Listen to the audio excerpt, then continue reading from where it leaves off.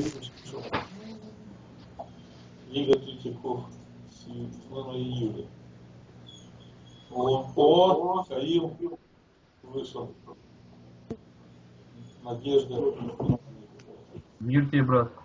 Мир вам, братья. О, надо Сергей. Чуть-чуть. Мир вам, братья. Миром Мир.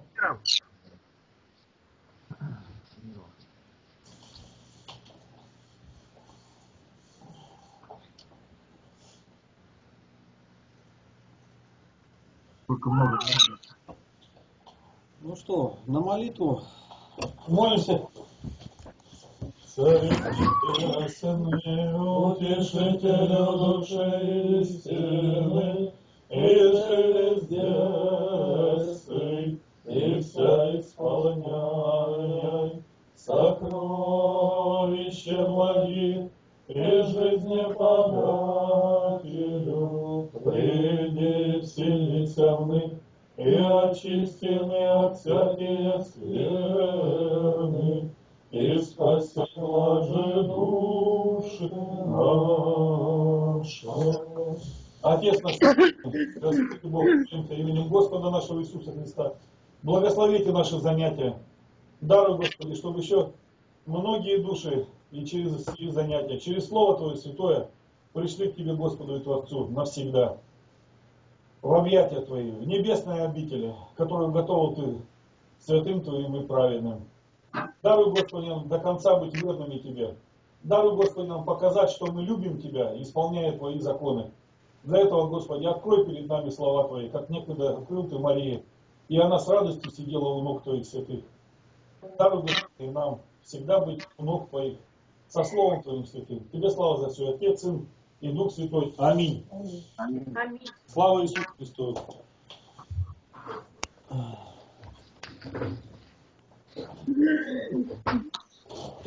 Так, ну что, всех с началом рождественского поста поздравляю. И Христос. Давайте. Так, мы закончили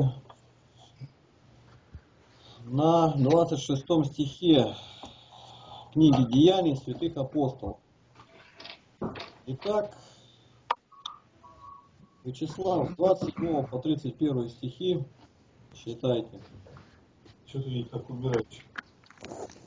Варнава же, взяв его, пришел к апостолам и рассказал им, как на пути он видел Господа, и что говорил ему Господь, и как он в Дамаске смело проповедовал во имя Иисуса.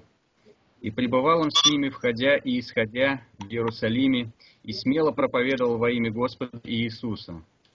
Говорил также и состязался с еленистами, а они покушались убить его. Братья, узнав о сем, отправили его в Кесарию, и припроводили в Тарс. Церкви по всей Иудее, Галилее и Самарии были в покое, назидаясь и ходя в страхе Господнем. И при утешении от Святого Духа умножались. Толкование. Что-то Что под- Варнава человек... подскрипывает что-то у тебя. Да это не у меня, это у кого-то эхо, наверное. Ну ладно, Ну читай. я могу... Можете дальше читать, продолжать или как?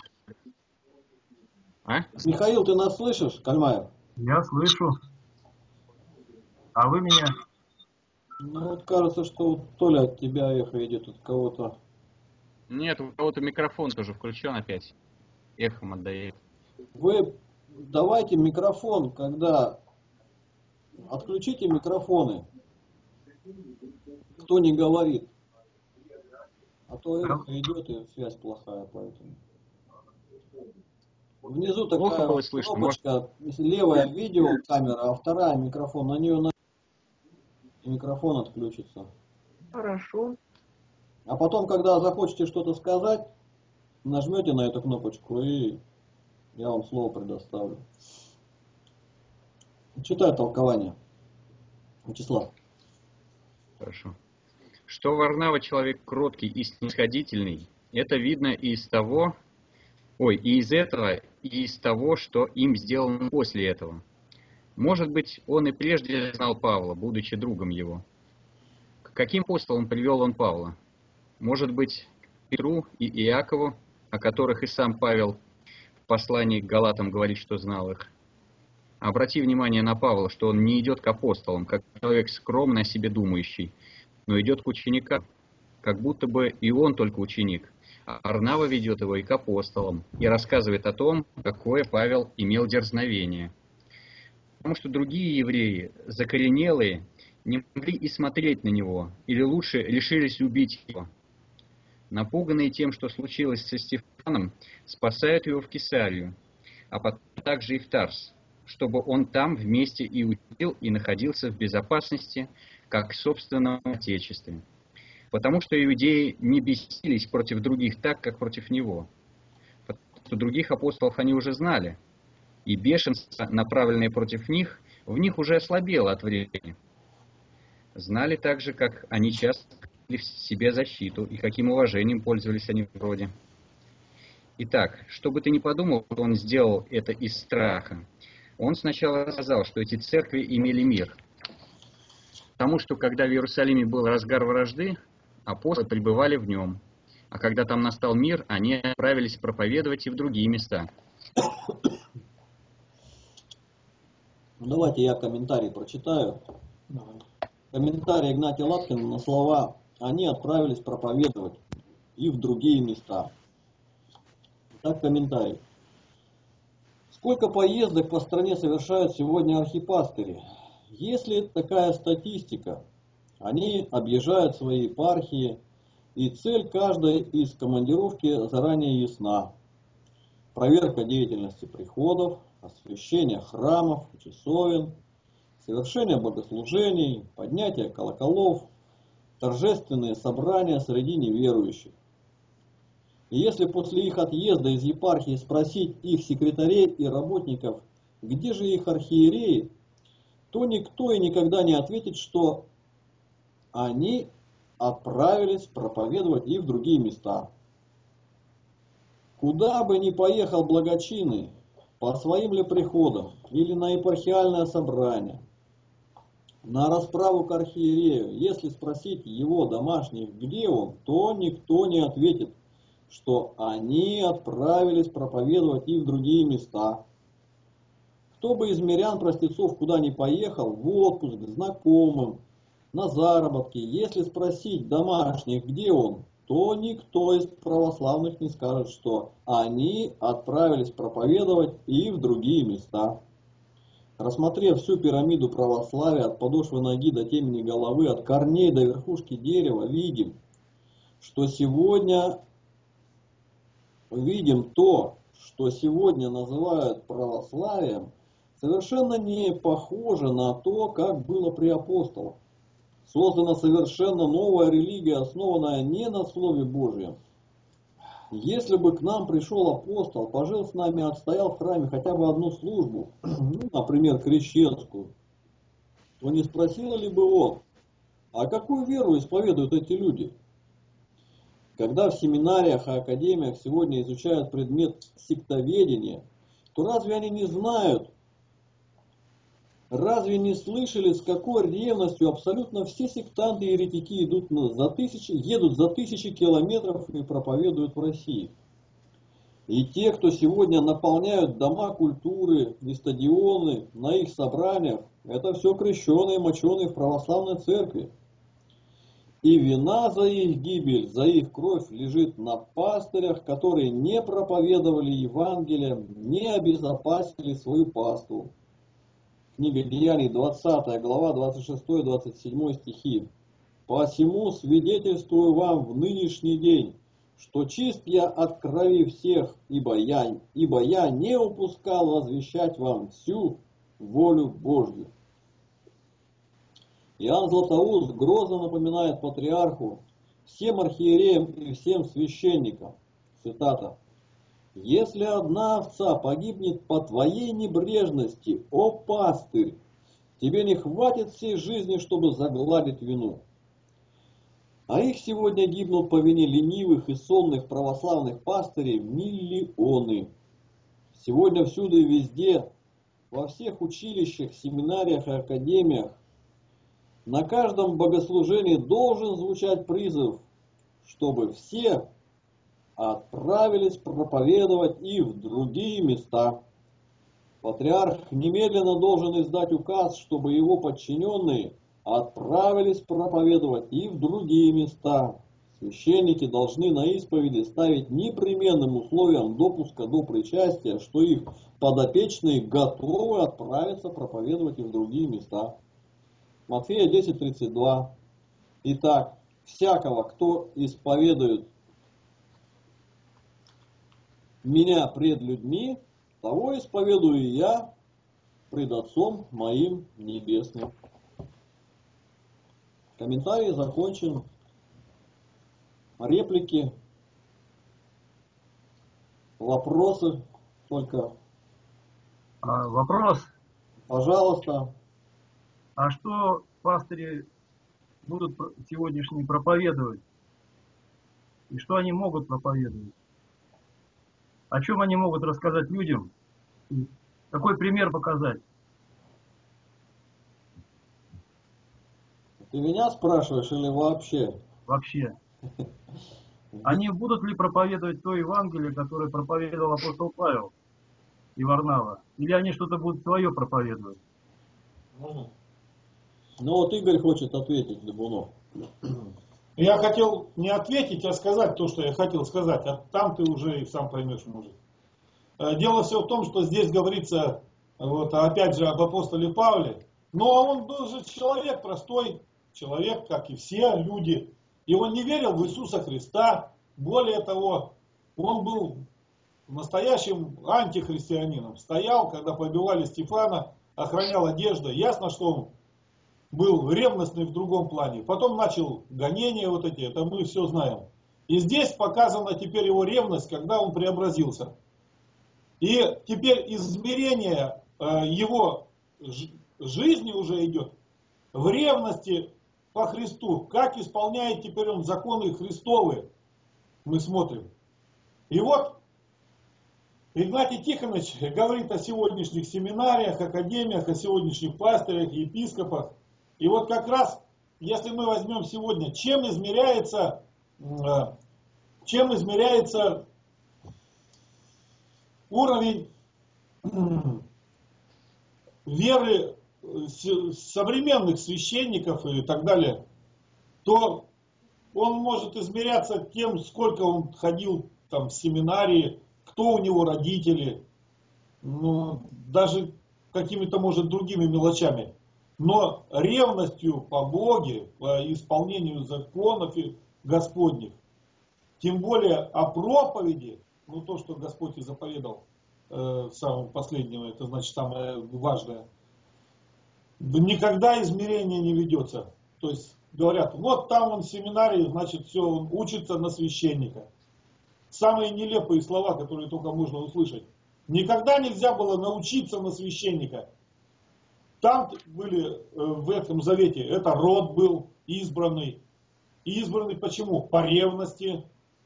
Они были ревнители закона и остались с Моисеем, поэтому им было предано, дальше из этого рода был избран Аарон, семейство его вернее, и так далее. И сейчас же вот ревности по Богу нету. То есть, а кто такие? Ну, исполняют служение. На работе находятся эти люди. Но и когда спросят, так а они какую-то ревность по Богу имели, какие-то нам награды, поэтому и героями стали. Да нет, ничего нету. То есть нелепее ситуации, чем в нашей церкви, нету. Люди, которые, которым верено нести закон Божий в ума людей и в душе, для спасения во веки вечные, чтобы жил человек. Они никак, нету никакой градации их избрания. Там до дьяконов народ избирает, а здесь рукоположение от епископа. То есть епископ взял, рукоположил и все, он становится священником. А, а епископы сами из этих э, не из избранных э, до конца священников, без ревности избранных. И отсюда у нас все как снежный ком накатывается на нас. Ни проповеди нету, ни ревности никакой. Они не прочитать слово не могут, э, Божие с ревностью по Боге. не тем более кому-то проповедовать.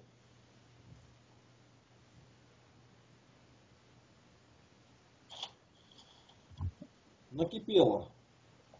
Брат ответил, да? Да. Я тут немножко а, в другом плане хотел это. Я имел в виду, что может ли человек, даже закончивший семинарию и считающийся православным христианином, нарушающий Слово Божие, проповедовать Евангелие так, как оно есть. Мне кажется, он это будет проповедовать искаженно уже Евангелие, по-своему. Ну, можно сказать, по-православному. Будет оправдывать убийство, будет оправдывать все, что угодно. То есть это будет проповедоваться то православие, которое сегодня, а не Евангелие на самом деле. Иисуса Христа. Так или нет? Ну, трудно не согласиться, конечно. Вот, можно сейчас говорю. Да. Ну вот я хотел добавить, вот мы тут говорили, э, ну и там самолет как раз упал, и я сказал там, говорю, э, и слова такие сказал впереди, говорю, ну кому, говорю, это нужно?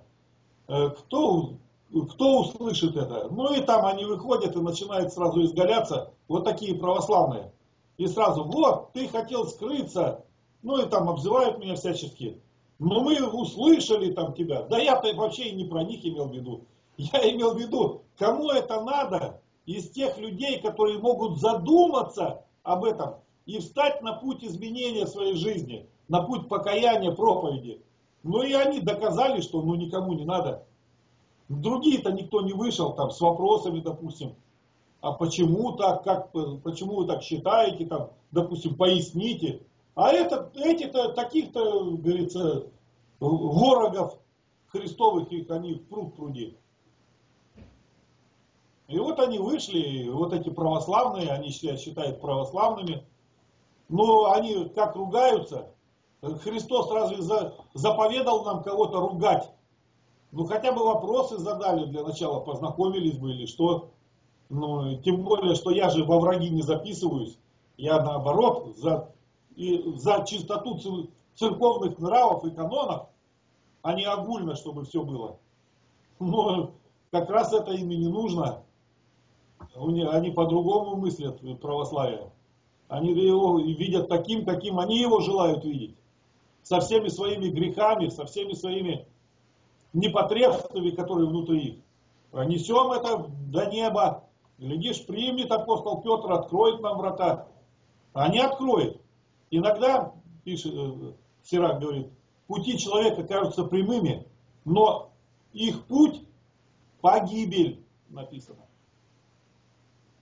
В глазах человека он прямо идет, а на самом деле в глазах Божьих он погиб уже, его нету. Может. Ну так что получается, что нужно понимать, что проповедовать и как проповедовать.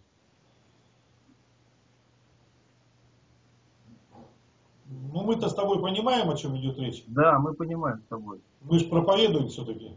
Ну, да, я вот сегодня слушал передачу там проповеди уличной и домовой. Это в Томской епархии. Там приехал из Тувы один человек, и он рассказывал, и делился опытом это в миссионерском отделе. Там и Максим Степаненко был, кстати.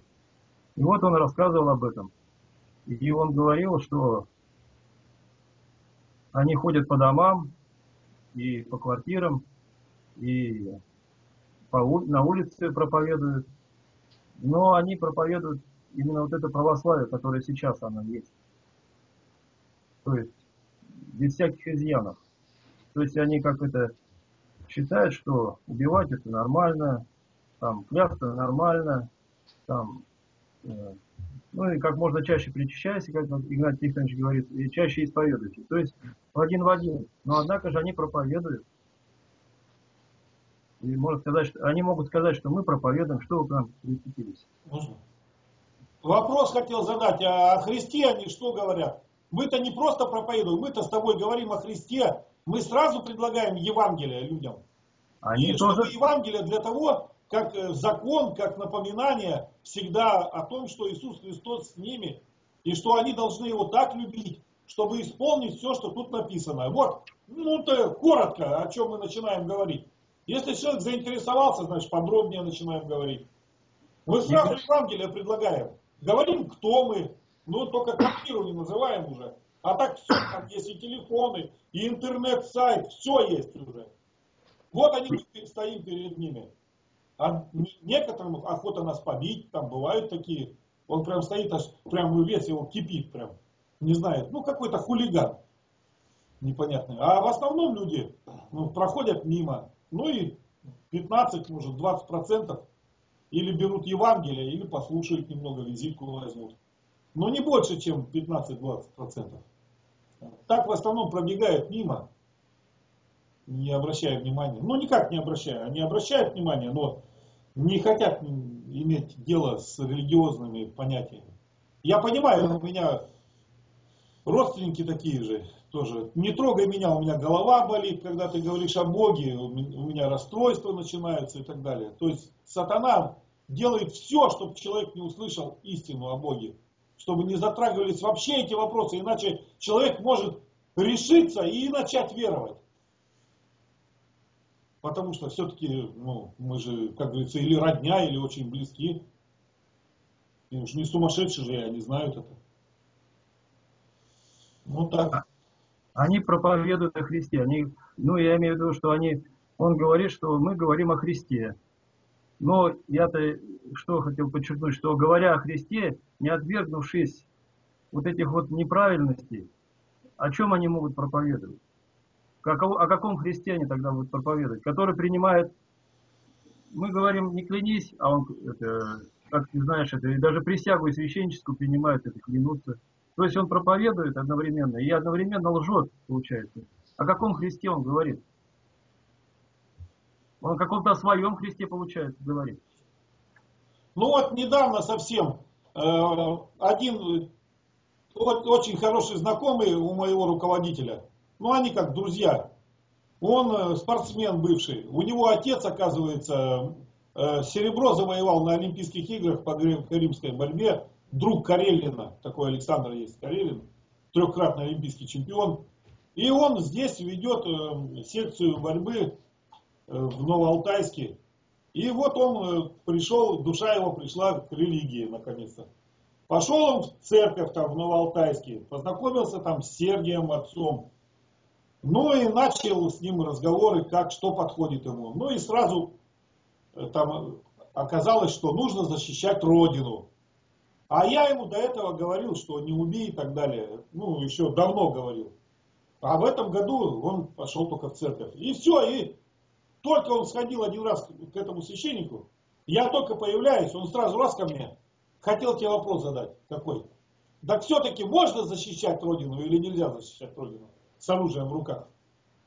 Но я начинаю опять, что Христос сказал и так далее. Он, ну, это ты сказал, а мне так же это не интересно. А вот Священник сказал мне, что он можно защищать, и Бог это тоже велит защищать. Я говорю, ну а как он относится к Нагорной проповеди Евангелия от Матфея? Он берет прям телефон, э, позвонил и говорит, отец Сергей, поговорите вот тут вот. Ну, я представился, кто я, чтец, там, э, Акима Лапкина и так далее. Он, ну, я что-то слышал, такое начал. Я говорю, ну как что-то слышали? Вы должны все слышать, говорю, потому что о нашей общине у вас же говорят в епархии, как так? Я говорю, скажите, вы как к Нагорной проповеди относитесь? Пятая, шестая, седьмая главы. Написано, что будете сынами Отца Небесного тогда, когда вы возлюбите врагов ваших.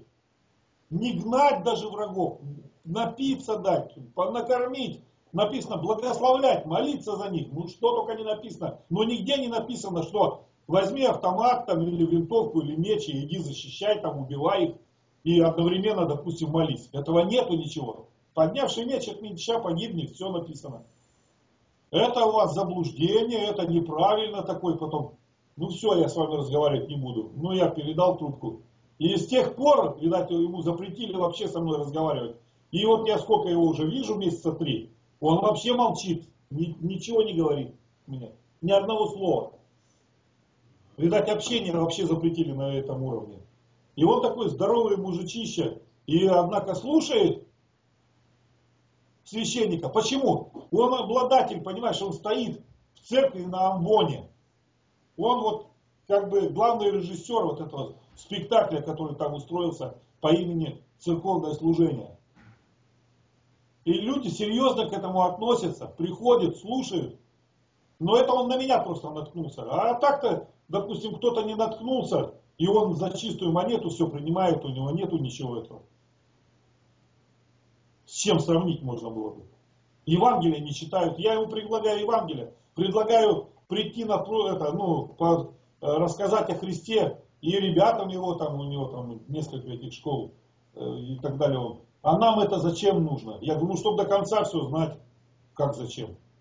Евангелие это же спасение. Да то мы и так спасемся. У нас теперь батюшка есть, мы ходим его слушаем, все нормально, он нам все рассказывает. А такой батюшка, о чем он расскажет-то еще? У него постная баранинка, постная свинина, молочко, потому что у всех гастриты.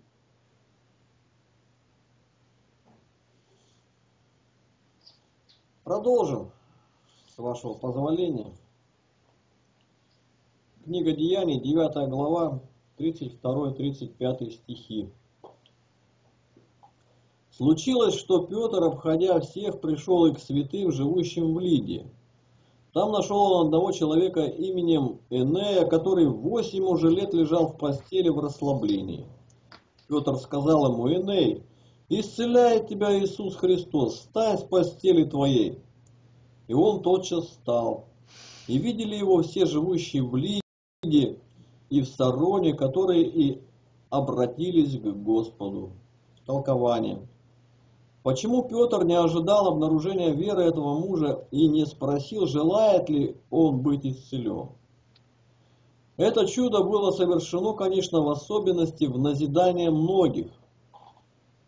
А с другой стороны, чудеса здесь не обнаруживали еще своей силы.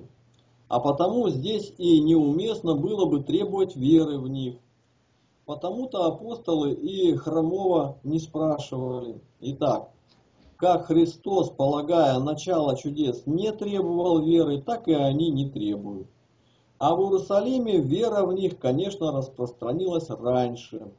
Деяние 5.15. Так, что выносили больных на улице и полагали на постелях и в кроватях, дабы хотя и тень проходящего Петра осенила кого из них. Потому-то там и много было сотворено чудес, а здесь когда только было положено начало им.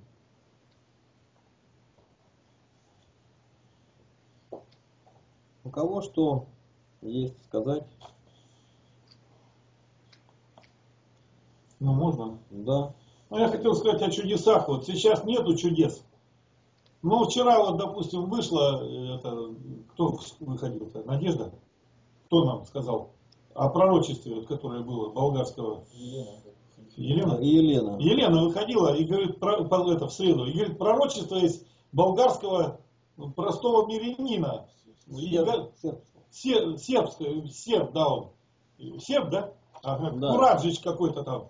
И он... Митар Тарабич. Тарабич. И он интересно очень такое пророчество сказал, что там через сколько-то там, через сто лет Э, придет по времени, а он 1850 год, 60 наверное, придет человек невысокого роста, который и будет это все в земле северной, далеко.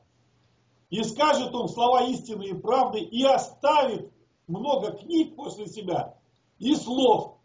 Написано как. Оставит много книг, книг и слов.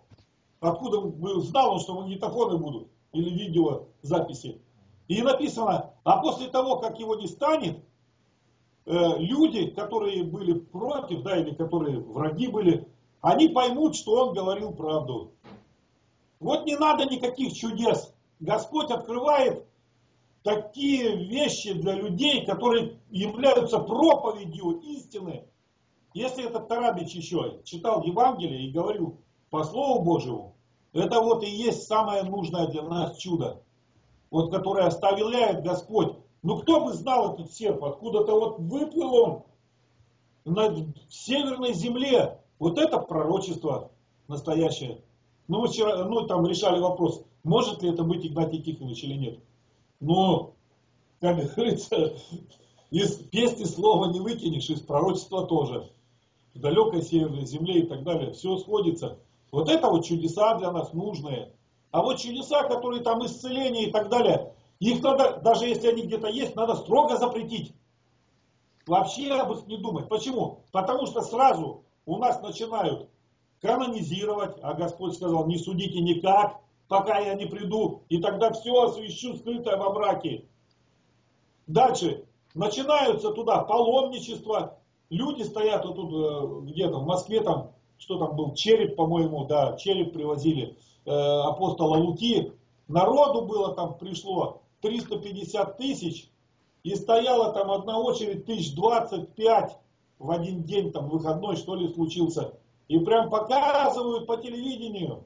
И подходят, дают интервью э, люди после того, как выходят. И у всех одно. Ну, спрашивают, ну как вы? Я, я, я ощутила такую, такую благодать. Я вот просто рассказываю, как есть. Я не смеюсь, ничего. Я не актер. Вот так люди захлеб и стоит, а, и продохнуть не может. Ну и что? Ну что? Вот знаете, это непередаваемо, это все. Человек, которого чудо обратило к Богу, должен конкретно пояснить и сказать, вы знаете, я увидел это чудо, это меня коснулось, и я уверовал в Бога.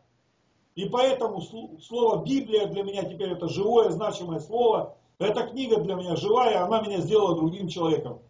И ни разу я этого не слышал, чтобы человек сказал, знаете, я подошел там, ну, допустим, к поясу Престой Богородицы и понял, что нужно читать Евангелие, и все мне станет понятно, я буду вечно жив.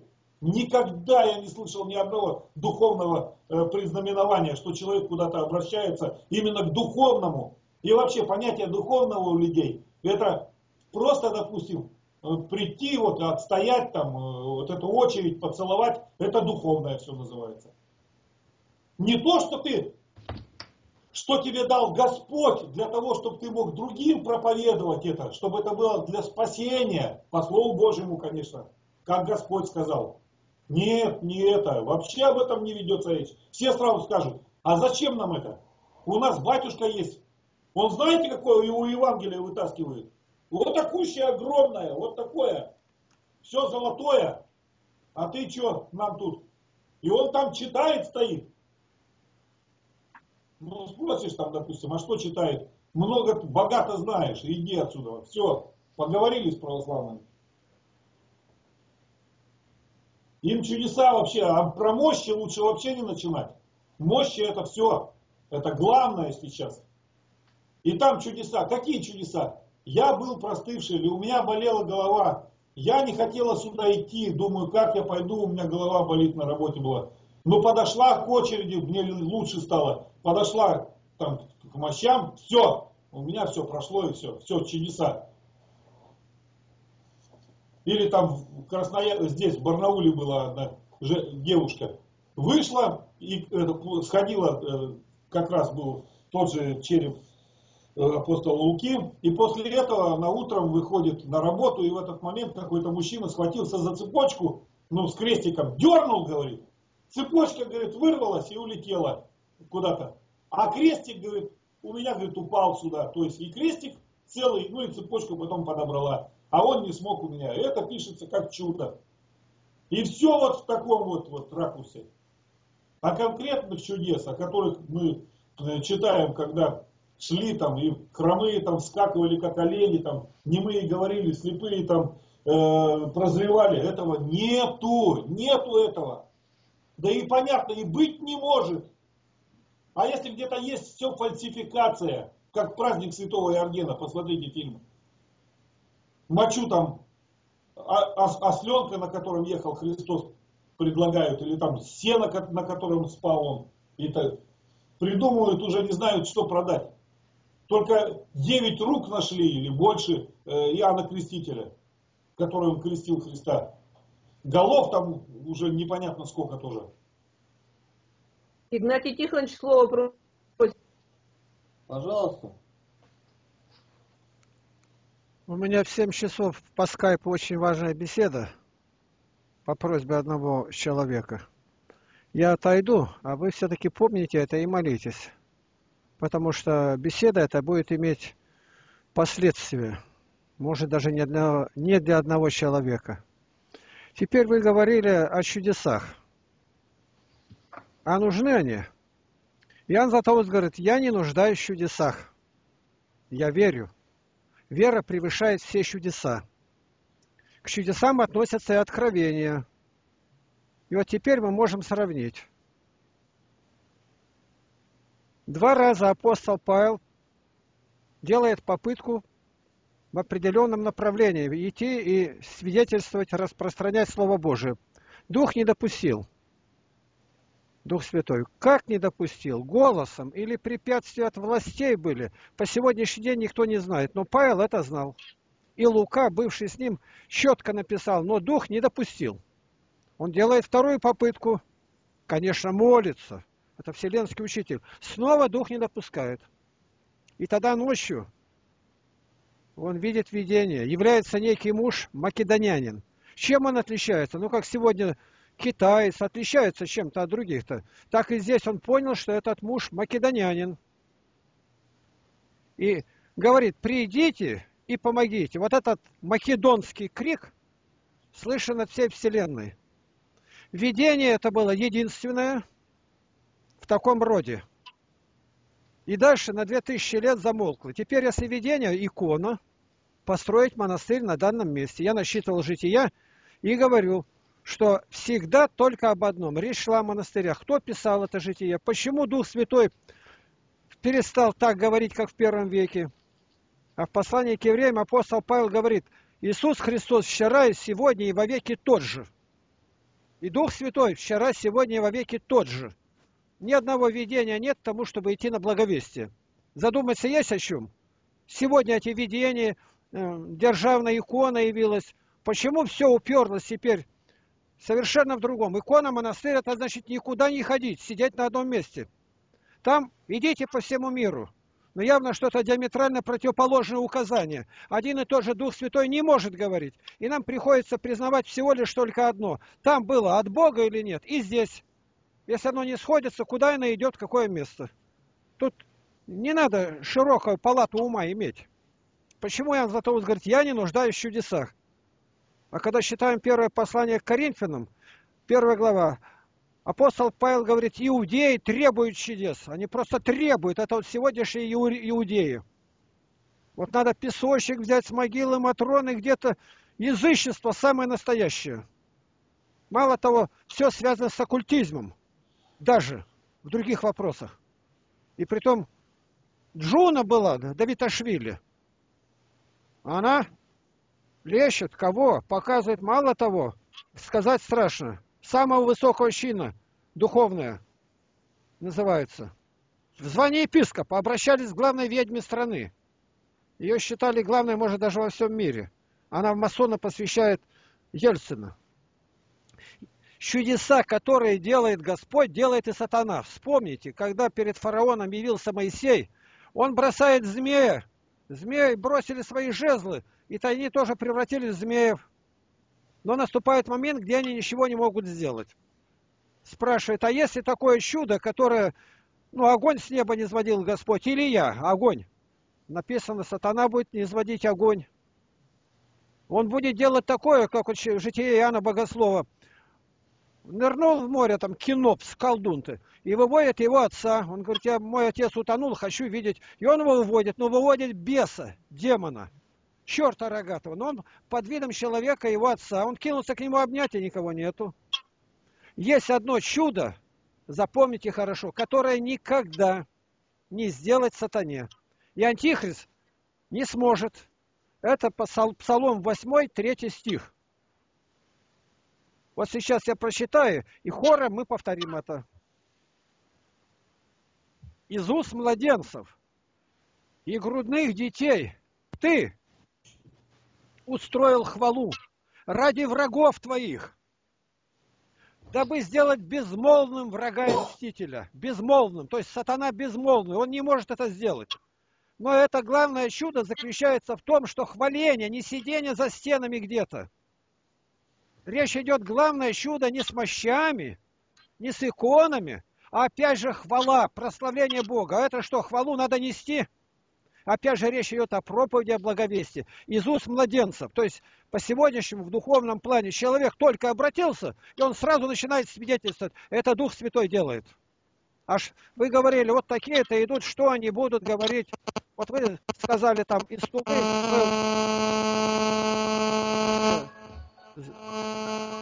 гудит. Он на меня, этот человек, выходил. Его звать Антон Дулевич. Они принадлежат, ну так они себя позиционируют, как бы ученики Даниила Сысоева. На меня выходит не один раз. У меня записал я ролик, с его согласия могу выставить, но пока у меня другие ролики впереди стоят. Его что-то интересует, выставлю я или нет теперь, когда выставлю. Это вот один, я его называю так. Что бывает с человеком, когда он причащается недостойно? Им только причащайся и исповедуйся каждый день. У всех. Какая-то ярость дикая. Хамство ужасно. Такие же, которые у него там Царионов, НТО, посмотрите, сейчас про него идет. Они провокаторы. Что они проповедуют? Правильно брат задал вопрос, Михаил. Что они проповедуют? Вот есть книга такая «Путешествие» или как там «Прогулка по храму» Данил Сысоев. Я никогда за 53 года никого не приглашаю в храм. Я отсылаю их просто в церковь, а там Господь разберется. Но чтобы я ходил, ему рассказывал. Вот пришел здесь, вот приезжал, ну, такой был артист Золотухин, Валерий Сергеевич. Приехал режиссер Кузнецов, тут еще люди были. Что я им буду показывать в храме? Единственное, что я показал, вот иконы, святые изображения у нас, и между ними места священного писания. Это редко где такое. Вот две иконы, а между ними место писания из Библии. Красиво написано следующее, и опять место писания. Вот это я могу показать. Икона не может проповедовать. Она проповедует для тех, которые не понимают, как проповедовать, когда ты разъясняешь, что на этой иконе изображено. У меня был такой случай в Третьяковской галерее в советское время какой-то зал, но он тупиковый. Дойдешь, и опять возвращаться тем же ходом надо. Иконный зал. Ну, я увидел икону Иоанна Богослова из Апокалипсиса. Это редкая икона, старинная. Я начал объяснять. Мгновенно. Ну, несколько минут всего было. Рядом были мои друзья, человек пять. А комната большая, для иконы, иконная комната где-то. Комната битком один к одному набились люди. Прибежали служители. Что случилось? Не могут пройти. Вызвали милицию, милиция не может пробиться вплотную. Жажда в народе какая. В этот день я проповедовал в храме Василия Блаженного на Красной площади. Жажда в народе огромная. Почему? Потому что народ в пустыне духовной находится. И вот теперь из уст младенцев и грудных детей Павел говорит, я питал вас как нянька как мать, я родила вас благовествованием Иисуса Христе. Вот что необходимо. Создать это великое чудо. Хвалы Богу. А хвала Богу – это третья ступень молитвы. Первое – прошение, дай, подай, помоги, исцели. Вторая – благодарю Тебя, Господи. И третья – хвала, аллилуйя, слава Тебе, Боже, слава Отцу и Сыну и Святому Духу. Вот на эту ступень Бог возводит младенцев, которые не испорчены еще кем-то которые взяли ключи разумения, ни сами не ходят, ни хотящих не допускают. И не надо бояться этих слов. Вот ведете занятия, старайтесь именно об этом говорить. Подробности какие-то там, о чем-то, они в частной беседе могут годиться. Нас слушают очень многие. Вот единственное чудо, единственное, повторяю, дабы сделать безмолвным, враг замолкает. На каждое чудо он может ответить, а что особенно, я тоже могу сделать. Исцеление, да, воскресенье сделаю. Огонь с неба сведу. Сделай, чтобы младенцы кричали, хвалу Богу. Никогда и нигде. Они сразу замолкают. Это как с евреями беседую, считай 53 главу Исаи. Он пространно все объясняет. Я был в синагогах у них. Как только коснулся 53 главы, опускают голову и говорят, не будем об этом говорить. Надо знать конкретно самое важное, что нужно будет. Отошел и Христос.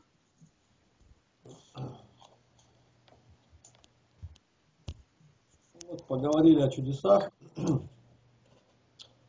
Продолжим. 36-43 стихи. Так, секундочку.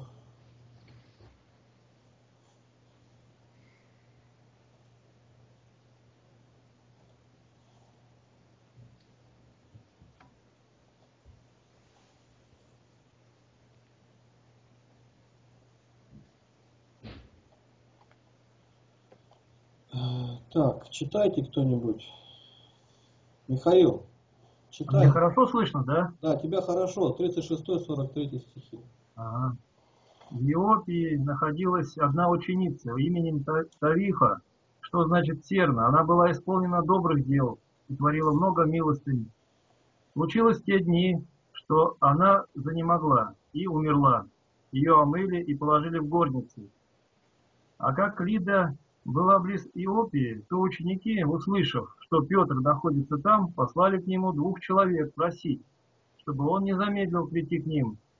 Петр, встав, пошел с ними, и когда он прибыл, вели его в горницу, и все, и все вдовицы со слезами предстали пред ним, показывая рубашки и платья, какие делала Серна, живя с ними.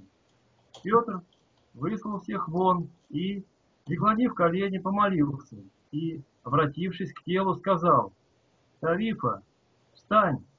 И она открыла глаза свои и, увидев Петра, села. Он, подав ей руку, поднял ее и, призвав святых и вдовиц, поставил ее перед ними живою.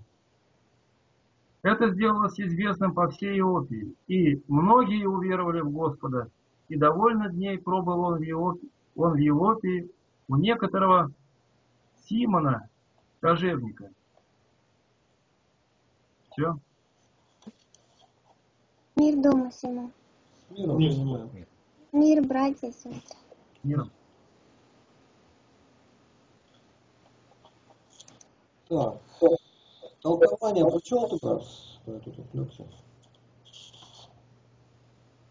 Михаил, Ау. ты толкование читал? Нет, у меня сейчас и нету с собой толкования. Так, тогда я читаю толкование на 36-43 стихи о Серне. Лука поставляет им имя ее, показывая, что она э, соответствовала своему имени. Была так бдительна и бодра, как серна. Потому что часто многие имена даются по божественному домостроительству. Сделали все, что следовало сделать над умершим. Заметь простоту прочих и отсутствие всякого высокомерия Петре. Не сами идут, но просят через двоих об исцелении, и он приходит. Почему они не позвали его, пока та не умерла? Считали недостойным утруждать этих учеников и отвлекать их, и делать им затруднения в деле проповеди, подчеркнуто и выделено. Поэтому-то Лука и говорит, что было близко, показывает великое смирение ее, потому что она находилась с ними и жила с ними, и обращалась со всеми, как одна из них, а не так, как мы теперь. Для чего он изгоняет всех вон? Для того, чтобы не тронуться слезами и не потерять спокойствие духа. Усердную совершает молитву, потом поддерживает ожившую, потом понемногу возвращаются жизнь и силы ее. Заметь отсутствие всякое, всякого высокомерия в Петре. Совершив такое великое чудо, он ищет пристанище не у нее и не у другого какого-либо знаменитого человека, но у кожевника Симона. Он не стыдится людей ничтожных и не дает великим повода превозноситься. И комментарий еще один Игнатия Лапкина на слова «делать им затруднения в деле проповеди». Итак, комментарий. Самые большие затруднения в деле проповеди причиняют теплохладность, незнание пути Божия, забвение прямой заповеди Божией о проповеди. Если сегодня сделать полный хронометраж времени любого священника за день, за неделю, месяц и год, что же касается архиерея, это же касается и архиерея, и патриарха, то какой процент времени выпадет на проповедь? Не на случайную проповедь по случаю праздника, заранее кем-то составленную, но на проповедь вдохновенную, касающуюся душ и нужд человеческих. На любом производстве, в любом деле есть специалисты, специально для этого назначенные, имеющие большой опыт, которые определяют, какие процессы являются второстепенными и даже ненужными, без каких движений и передвижений можно обойтись, чтобы все силы отдать главной работе, а любая работа ценится по конечному результату. И что же получится на деле? Большинство времени уходит на богослужения, требы, выезды, пустопорожнее времяпровождения в приемных архиереи благочинных. Кто и когда в православной церкви за тысячи лет до сего времени озаботился о главном – не делать им затруднения в деле проповеди. Если спросить любого прислужника, где сейчас священник, которого ты ищешь, тебе не ответят, что он занят делом проповеди. Почему? Ответ.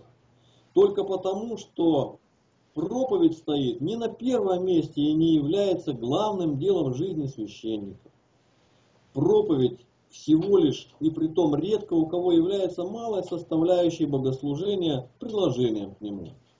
Не все знают, чем занят священник. Он или готовится к богослужению, или совершает богослужение, или отдыхает после богослужения. А согласно блаженному Феофилакту, толкующему деяния апостолов, проповедь и только проповедь должна стоять на первом месте и ничего не должно делать затруднения в деле проповеди. Весь смысл миссии Христа на земле заключается в спасении падшего, умершего человека, первого Адама. И это возможно только через Слово Божие, через слышание Его, через вдохновенную проповедь в Духе Святом. Римлянам 10.17. Итак, вера от слышания, а слышание от Слова Божия. И поэтому у каждого священника должна быть на руках охранительная грамота, заверенная патриархом и синодом, что никто не может делать им затруднения в деле проповеди. По смыслу, 9 десятых двухчасового богослужения должно, должно быть отведено делу проповеди, возрождению души, обращению ее ко Христу, и только одну десятую часть посвятить Богу, богослужению и молитве – это требование самого Бога, касающееся всего, что мы приобретаем. Сегодня самое большое препятствие в деле проповеди в православной церкви – забвение Слова Божия, абсолютная потеря и забвение авторитета святой и святейшей Библии. Слово «святейший» в Библии встречается только два раза и касается места жертвоприношений, причастия, то есть молитв к Иегове и истинной веры. Книга чисел 18.10. На святейшем месте ешьте это. Все мужеского пола могут есть. Это святынею да будет для тебя. Иуда 1.20. А вы, возлюбленные, назидая себя на святейшей вере вашей, молясь Духом Святым. И это слово «святейший» неприменимо согласно Слову Божию, и ни к кому, и ни к чему все остальное – вымыслы человеческие. Псалом 118-113. «Вымыслы человеческие ненавижу, а закон Твой люблю». И ко всему святейшему, что указано выше, приводит проповедь о Христе, и чтобы все смертные считали недостойным утруждать этим учеником, учеников и отвлекать их, Это, и делать им затруднения Сейчас я- в я деле за- загашу. проповеди. слушай, С Богом, знаете. Сережа, я отха- Да. отхожу, ко мне уже стучится этот человек. Дело вот в чем. Э, э, Блаженного Феофилакта, вот с толкованием. И чтобы коснуться толкования, дать комментарий, это впервые за 900 лет. Ну, от Феофилакта считаю. Я сделал 297 комментариев, касающихся любви к Святой Библии и проповеди Слова Божия. И вот вопрос. Есть люди, которые мне говорят, вот епископ, я, говорит, когда читаю, где комментарии, я, говорит, просто перелистываю. Мне это неприятно. Ни духовного звания, все до одного. Говорит, я считаю, Евангелие я и так знаю. Толкование, и главное, говорит, в этом толковании выделены ваши слова вот эти вот. Вот и вопрос, почему? Те, которые призваны любить Библию, любить проповедь, они это совершенно не хотят видеть, даже уже в готовых комментариях. И когда я комментирую какие-то слова об этом, они начинают говорить, что нет этих слов у Пепелакта. У меня свой в Пепелакте есть, и я там этих слов не видал. А когда потом смотрят, есть как я не видел. Вот для этого я сделал жирным и ударил в набат. Так, я отхожу с Богом. С Богом. С Богом, спаси Христос. О. Спаси Христос. Господи, устрой эту беседу в Духе Твоем, Святой.